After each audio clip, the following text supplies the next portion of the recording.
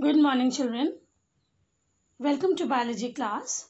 Today we are going to start Unit 2 Genetics and Evolution, Chapter 5 Principles of Inheritance and Variations. Children, in this chapter we are going to study about the heredity, variation, genetics, then Mendel's experiments, sex determination, sex linkage, and many more. So let's come to heredity and variations. Children, you know that we resemble our parents, but some differences are also there. So, what do you think? That these similarities and differences in characters between parents and offsprings or siblings they are coincidental? No. These characters they are received by the children from the parents and grandparents.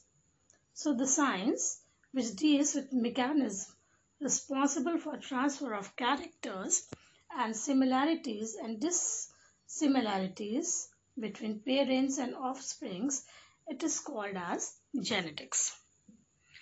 So let's come to heredity and variation. Heredity or inheritance means the transmission of characters from parents to offsprings, generation after generation. That means whatever character we inherit, it comes from our parents, grandparents, then forefathers and all. So it is described that genetic continuity of germinal material from parents to offsprings. So it is with the physical and physiological characters, instincts, and even psychological features in higher man and animals. The ancient Greeks, you knew children, that the blue-eyed parents, they have blue-eyed children.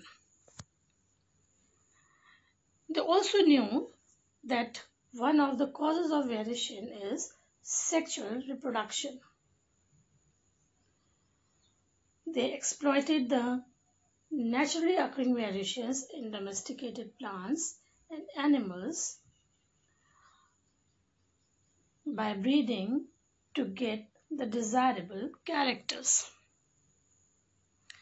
So, what does this genetics deals with? So, it deals with the mechanism of transmission of characters from parents to offsprings and causes of variations in closely related organisms. So, the term genetics it was given by Bateson in 1905 and it was derived from Greek word genesis which means to grow into. So what do we say that genetics it accounts both for resemblance and differences due to heredity, sources and their development. So let's come to variation. Children, you know that we resemble our parents but we are not identical. The characters, they come from the parents. But the identical twins, they resemble each other. So the dissimilarities among the related individuals or members of a species are called variation. Except identical twins, no one resemble each other. So clone and offspring. Organisms which are produced by sexual reproduction, they are the exact copies of their parents or we can say that they are the carbon copies of their parents. They are called gametes. So the group of identical individuals which are produced from a single parent is known as clone. Now the term offspring in heredity it is strictly used for progeny which are produced by sexual reproduction. Now these offspring or progeny they which are produced by asexual reproduction they might be through budding, fission, spore formation or in plants grafting and layering, they forms a clone. Even identical twins, they also come under clone, though they are offspring of their parents. Now come to blending inheritance.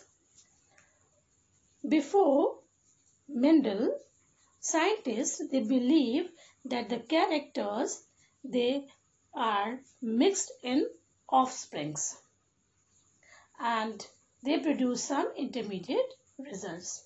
Now this is called blending inheritance. But according to particulate theory which was given by Malpasius, the parental characters they do not blend in the offspring. They remain discrete and they reappear after several generations. German botanist Kolreuter, he also explained this by experimental evidences. His observations were similar to Mendel, but he could not able to interpret them. Mendelian inheritance or Mendel's principles of inheritance we learn in our next class. This is all for today children. Thank you and have a nice day.